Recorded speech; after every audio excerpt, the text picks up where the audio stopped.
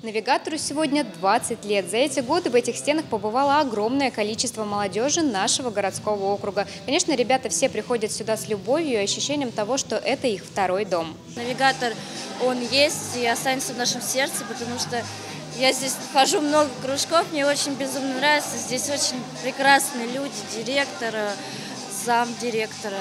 Вот. Очень прекрасный навигатор. Желаю ему больше развиваться и стремиться к прорыву молодежному, потому что молодежь это самое главное у нас сейчас. Я желаю, чтобы он процветал, а, может быть, в дальнейшем, чтобы у него появился а, новый дом, дом у молодежи красивый. А, ну а самое главное, мне кажется, это все-таки дружная команда, которая есть, сложилась за столько лет.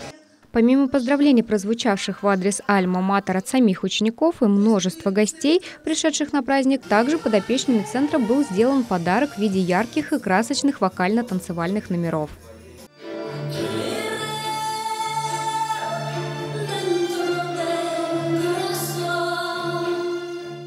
Молодежный центр предлагает вступившим в него массу кружков по интересам. Это школа аниматоров, где ребятам преподают актерское мастерство, сценическую речь и режиссуру, вокальная студия, фотокурсы, студия танцев, школа художников, клуб игры на ударных и еще множество объединений, которые всегда готовы принять в свои ряды молодых и активных ребят.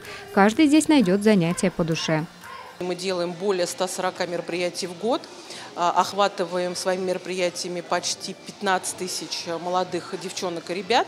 У нас работают э, бесплатные кружки, в которых занимаются 150 э, представителей щелковской молодежи. Мы ездим по всем поселениям бывшего района. И я считаю, что э, говорить о том, что мы существуем, нужно не переставая каждый день.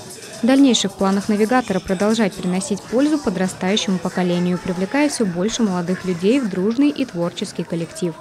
Мария Буржинская, Валерий Жиглей, Щелковское телевидение.